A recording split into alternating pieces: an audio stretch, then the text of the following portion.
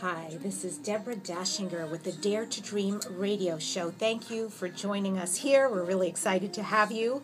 And if you want to know more about me, go to www.deborah.dachinger.com. That's D E B O R A H D A C H I N G E R.com. Also, Twitter, Deb on the Radio.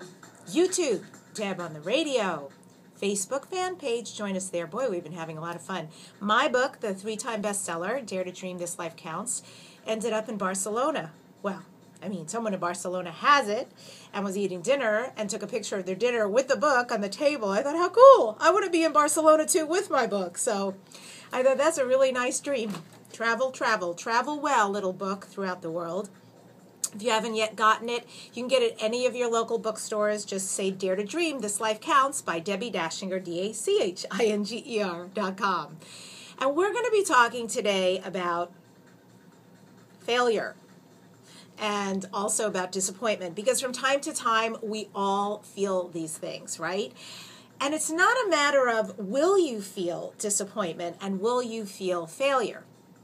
It's a matter and a question of if you feel failure, if you feel disappointment, what are you going to do with those feelings? Because, in my estimation, in my camp, I see two things happen, and people generally make one of two choices. One choice is to take the assessment of a situation or experience and say, therefore, I am a failure.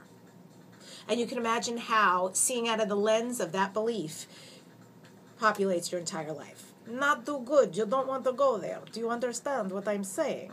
Good. However, there's a second camp. And the second camp is the camp I want to urge you to move into anytime you have the experience of failure or disappointment in your life. And that second camp is all about this was a failure or this turned out to be a disappointment because I had a particular expectation on a situation or a person and it didn't come to fruition as I had planned.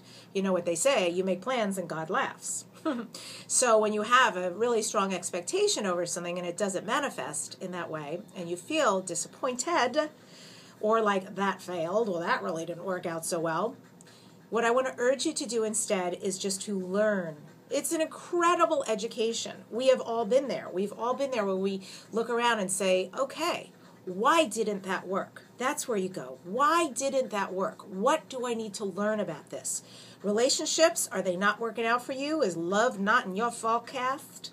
Well, honey, look at there's one common denominator, and that would be you. Mm. Same thing with jobs. Same thing with pick the subject of the pattern.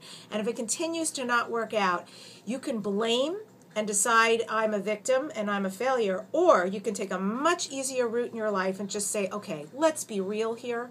What am I doing that over and over again keeps creating this result? Learn from it because you can completely change how and who you are in relationships, how and who you are sh- showing up for jobs and careers, how you show up for yourself, for your health, for you pick the subject, yes? So, in reality, nothing ever really fails. It is our reaction to the experience. Nothing really fails. It's a standard we set. It is something that we said, you know, this particular outcome has to happen or not good for me. So the outcome doesn't happen, and then the demise comes, the beliefs come. The truth is, we can never be a failure. Something might fail to happen, something might be a disappointment, but we are never failures. Got it? You're Dare to Dreamers, honey. You're not a failure. You're tuning in. You want more, better, bigger. This I know. And welcome. Because we're all part of the same tribe.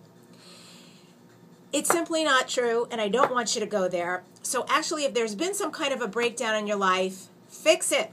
Make an amends. Go to the institution or the people and say, I messed up and I'm really sorry. Go to yourself and say, I'm really sorry I keep doing this to you. What a wacky reality I keep creating for you. You don't want it anymore, honey, don't do it. Just don't step into that. When you know better, you'll do better. Hmm, what does Debbie mean by that? When I know better, I'll do better. It's true. When you know better, you'll do better. Everything is energy. And when we stay stuck in a pattern, it's stuck energy, which is awful. It's stagnant energy. Energy needs to move. That's what energy is all about. So forgive yourself, forgive others, write what happened, learn your lesson with love and grace, and take the next right step in your life. When you beat yourself up, you stay stuck. But when you know better, you do better.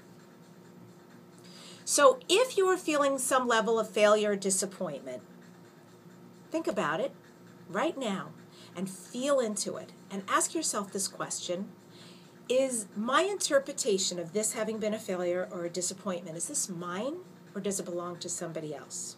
Now, if it if you get right away, wow, man, that doesn't belong to me, that's pretty interesting, then return it to sender with love attached.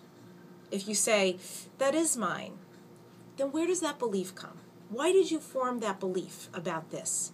And is this belief about this event or several events in your life serving you or swerving you?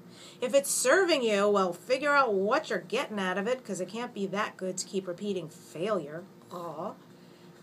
And it's swerving you, which is probably what's happening, is totally taking you off your path and your course. So let's get you right back on. Prove to yourself. This is what it's all about. It's self trust, self love, self worth. Prove to yourself, accept yourself. Prove to yourself you can do better. And allow yourself to do better so you can move forward in your life in a direction that matters to you. Breath, everybody. Breath. Dance with life. Feel its flow, feel its ebbs. Allow the journey and the flow Allow the successes and the perceived this didn't work out quite like I had wanted. How we perceive these events is right here in our minds. We choose the thoughts we think. Accept, choose, take action.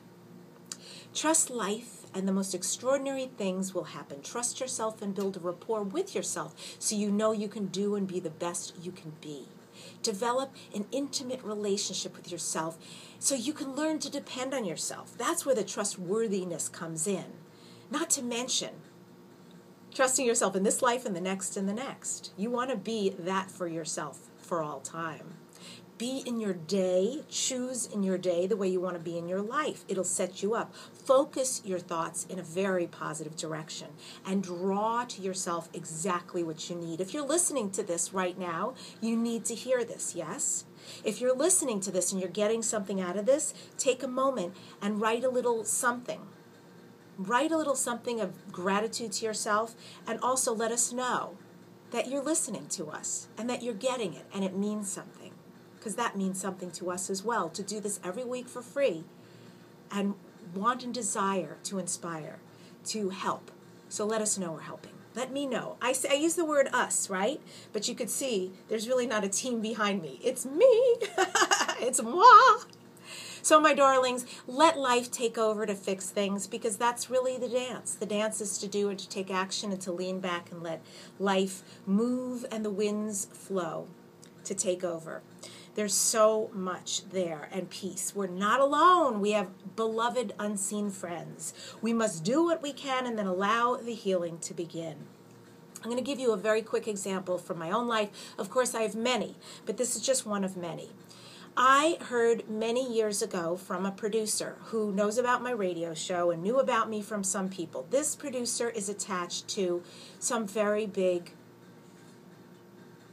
Okay, this producer is attached to a very well known actor who funds big projects. The producer was very interested in me, my show, and taking me to a whole nother level, envisioning me in television, envisioning me doing things that are near and dear to my heart, where I see myself as well. So, you know, we've gotten together and had talks with he and his partner.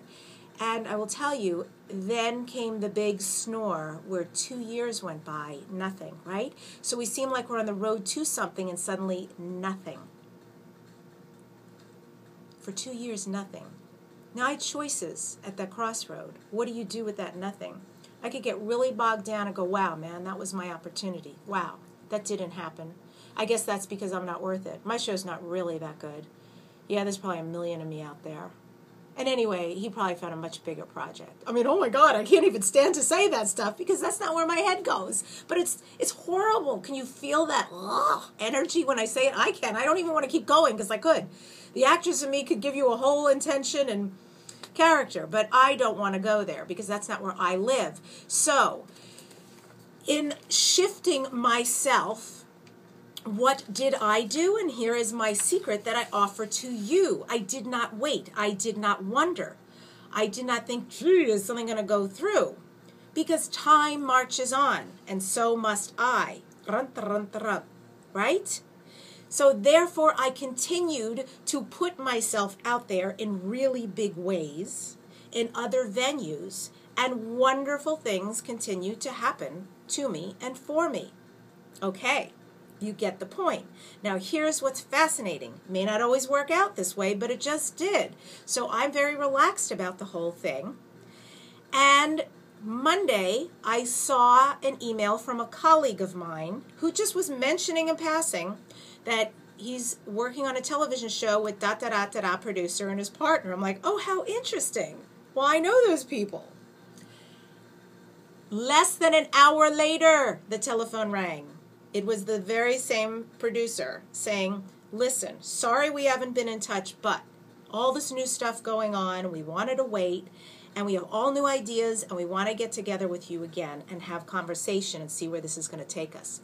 So, what am I going to do? always I go to my feelings first. It feels right, of course, and I like this person, so I will meet with them. I will see what's there. It's an opportunity. I show up for opportunities. Yes, I do. I do. And I'm going to have my very best self with me, and I'm going to be very happy to hear what they're thinking. And when it's all done, I'm going to feel inside if it's right for me because my barometer is right here and I know what's right for me and what isn't. So I'm going to know if it's right for me. And if it's right for me, I will proceed forward. And if it's a real opportunity and it's right for me, and I will proceed forward. Yes? And that's that.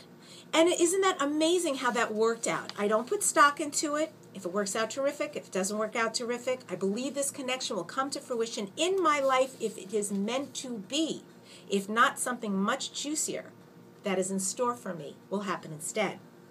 Disappointment is what happens when I have an expectation. So I go into this with no expectation.